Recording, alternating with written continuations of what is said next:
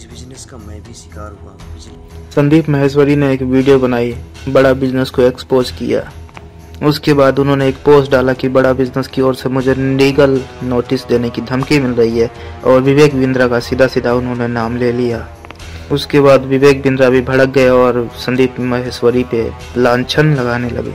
बड़ा बिज़नेस वालों ने एक कोर्स निकाला है। जिस कोर्स की वैल्यू उन लोगों ने पचास हज़ार रूपए रखी है। लेकिन जो बच्चे उस कोर्स को लिए हैं, वो लोग बोल रहे हैं कि उस कोर्स की वैल्यू इतनी ज़्यादा नहीं है। वो कोर्स इतना ज़्यादा वैल्यूएबल नहीं है। इसी बात पे संदीप महेश्वरी ने इस कोर्स को एक स्कैम का नाम दे दिया। उसके बाद से ही ये लड़ाई शुरू हो गई है।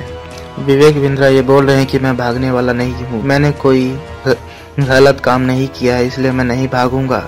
मेरे कोर्स में दम है। अगर कोई भी बच्चा को कोर्स में दम नज़र नहीं आता तो वो अपने पैसे वापस ले सकता है।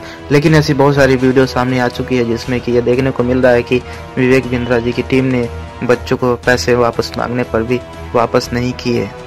देखो भाई बिज़नेस में ऐसी चीज़ें होती रहती है। जो कोर्स उन्होंने बनाया है, वो तो उस कोर्स की वैल्यू अपने हिसाब से रखेंगे। बच्चों में भी एक समझदारी होनी चाहिए। आपके साथ भी ऐसा हुआ होगा कि आपने कोई सामान ले लिया हो, फिर आप वापस करने गए हो तो वो वापस ना ले आओ। ये दुकानदार की मर्ज़ी है कि वो वापस ले या ना ले। अब इसमें देखना ये है कि क्या ये सच में कोई स्कैम है? क्या उनके कोर्स में वैल्यू है या नहीं है? अगर उनके कोर्स में वैल्यू होगी तो विवेक बिंद्रा जीत जाएँगे। अगर उनके कोर्स में वैल्यू नहीं हुई तो विवेक बिंद्रा की हार निश्चित है। संदीप महेश्वरी ने अभी एक वीडियो बनाई है जिसमें कि वो बोल रहे हैं कि जिन जिन बच्चों के साथ स्कैम हुआ है, उन सभी को मैं मदद करना चाहता हूँ लीगल तरीके से। इसीलिए वो अपने चैनल का मोनेटाइजेशन भी ऑन करने वाले हैं। इस बिज़नेस का। मैं भी शिकार हुआ पिछले एक साल मेरे भी पचास हज़ार गए और मैं ये चाहता हूँ कि अब किसी के ना जाए।